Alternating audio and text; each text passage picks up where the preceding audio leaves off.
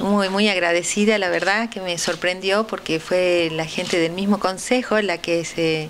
que, me contactó y ofreció esto de, hacer un reconocimiento al trabajo que realizamos. hacemos libros de divulgación científica para niños que con la finalidad de dar a conocer y hacer valorar, valorar el patrimonio cultural y natural de la región. Eh, somos un equipo interdisciplinario, el, emprendimiento se llama Amar lo Nuestro, somos salteños, pero trabajamos para toda la región porque bueno, tenemos una biodiversidad maravillosa en la región que no tiene jurisdicciones este, y bueno, estamos muy contentos, y agradecidos de, la posibilidad de, estar acá y de, recibir este reconocimiento y sobre todo que se difunda, que se difunda el trabajo que hacemos en pos de, la conservación de nuestras especies especies nativas.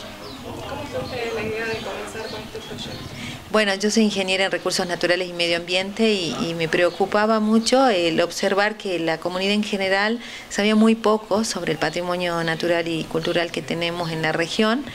y sobre todo lo veía en mi propia casa y con mis hijos, entonces ahí decidí hacer material eh, didáctico, educativo, de divulgación científica, porque además por otro lado conocía que había centros de investigación en la región muy importantes que generaban material de primera calidad, pero esa información se publica en congresos internacionales, en, en inglés la mayoría de, los, de las veces, entonces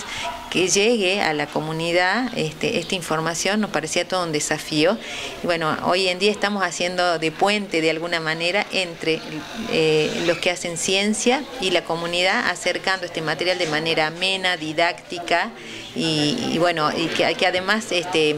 contribuya a la conservación de las distintas especies, porque nadie ama lo que no conoce y nadie conoce lo que nos enseña. Entonces, bueno, ese es nuestro desafío y estamos muy agradecidos al Consejo Deliberante de Jujuy por, esta, por este reconocimiento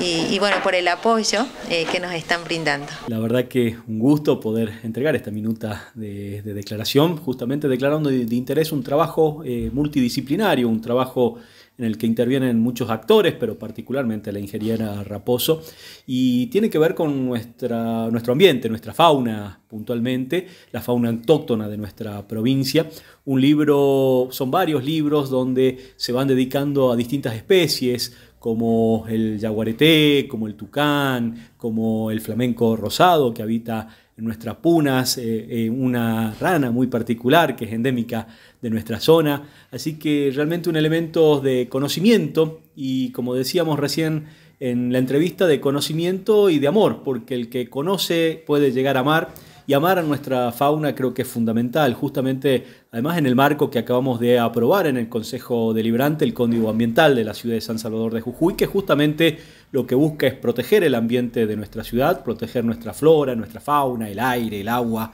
eh, la tierra. Así que sin lugar a dudas son elementos fundamentales para esta lucha que debemos dar entre todos los seres humanos en contra del cambio climático. Agradecerle a la ingeniera Raposo su presencia y por supuesto desearles el mayor de los éxitos con esta edición que ha sido además presentada en la Feria del Libro.